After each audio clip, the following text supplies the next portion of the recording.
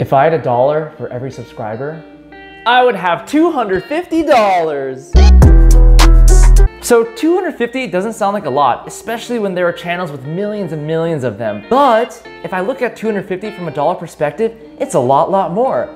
That much money could cover almost half a year's worth of groceries. So for every single one of you subscribed, thank you so much. You make a difference. I've read every single comment from your tips to your encouragement to things that just make me laugh.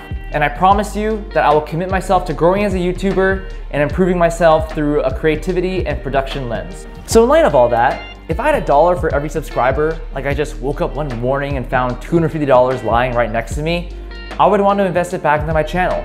Now the thing is, I already plan on doing more budget challenge videos. I already plan on investing into a camera because I'm using my phone right now. But if I had that $250, I would want to invest in ways that maybe I didn't think of or ways that I wasn't planning on. So here are five things I would do with that $250. So the first thing I would do is take out my sister to get some veggie burgers. She loves veggie burgers ever since my family went on a trip to England and I definitely want to treat her out there.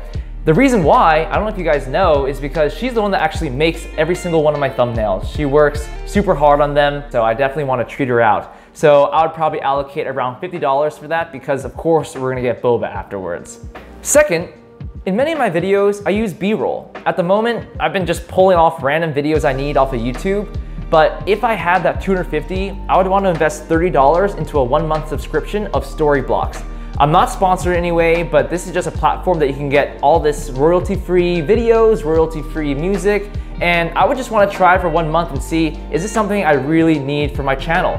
But I would be really interested to see if the quality of my content really does improve by subscribing to Storyblocks. So that's $30. So the third thing I would want to do is buy myself a new chair. Um, I'm sitting in a dining chair right now, and like, especially if you're sitting there for a long time, it's not too comfortable. I do have a work chair, like an office chair upstairs where, you know, I do my nine to five job, but it would be, it would just be super helpful to have a chair. Again, like I don't need it, but it would just be something nice to have. So I would probably allocate $50 to get, you know, not like a super nice gamer chair, but at least a nicer chair than a dining room chair.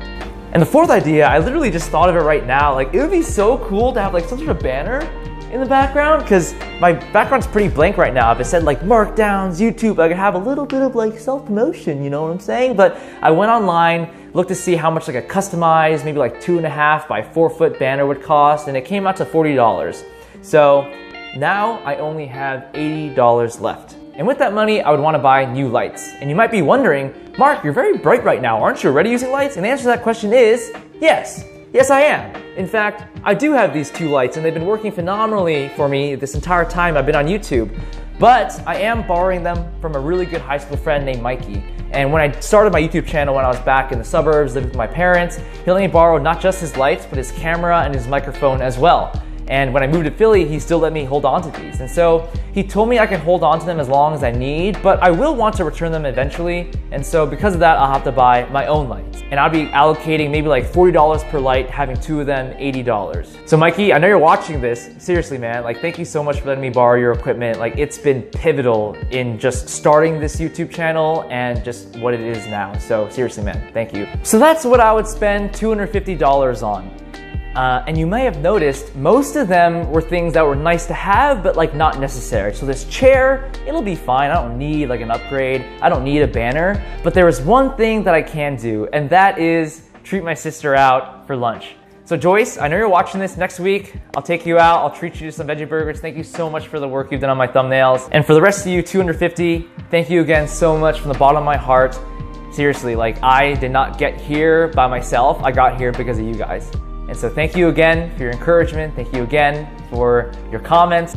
So with all that being said, thank you guys so much. And I'll see you guys in the next one.